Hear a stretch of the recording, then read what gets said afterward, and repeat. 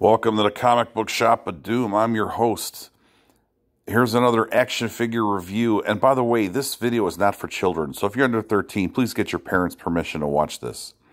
So this is my third video of today. I did the Masters of the Universe, the WWE Universe, Roman Reigns, the heroic big dog. So he comes with a big punch thing. So he's he's kind of like uh, Fisto, where they give him an extended fist so because he has that Superman punch. That's what he uses in his wrestling move. So these are cool figures.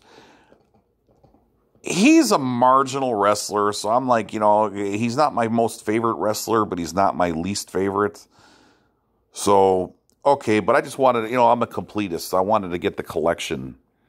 So here he's got a shield and he's got the oversized fist. So I figured, hey, I'll get this guy. So I got him and John Cena, the fakers, John Cena and I did a review of that one today, and I got the Rey Mysterio, Rey Mysterio and Randy Savage I haven't gotten yet. So I got to get those two. And then there's a bunch of others, but I got a bunch of So this one's got a little dog eared in the corner, but it was the only Roman Reigns figure they had, so I had to get it. So it was either that or I don't have them.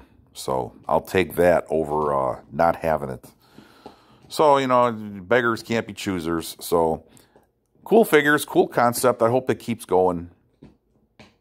And um, thanks for watching the videos. Check out the entire library, Comic Book Shop of Doom at YouTube. And I have, um, I'm going to do a website. I have comicbookshopofdoom.proboards.com. I'm going to do the .com soon. So, I, and have all the videos on there and everything and categorize them. So, so we got over 160, uh, we're, we're close to 170 videos. I want to keep going. So help me out, watch the videos. I'm not getting any money from YouTube yet, so this is all on my own dime.